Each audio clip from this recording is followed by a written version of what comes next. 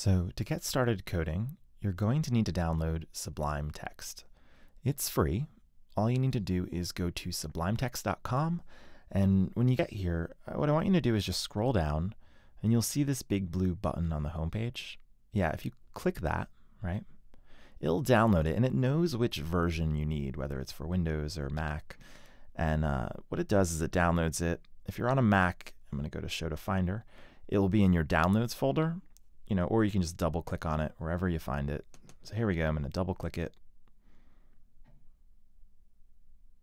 And I see a lot of students do this incorrectly, but what you want to do on a Mac with any application is you always want to drag it to the applications folder, right?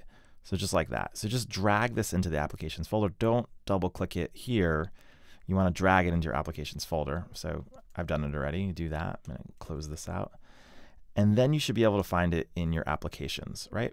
So I have mine here. So if we open that, if we open up Sublime Text, you know you did it correctly if you can see this big black box.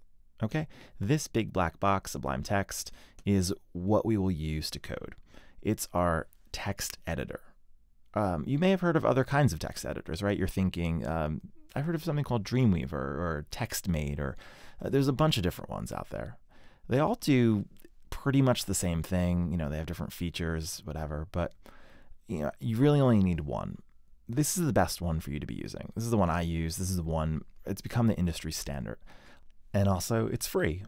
You might get a little pop up sometimes if you haven't paid. You just press escape, it'll go away. Um, but other than that, this is the easiest way for you to start coding HTML and CSS, um, really like the professionals do, and it's the correct way to learn.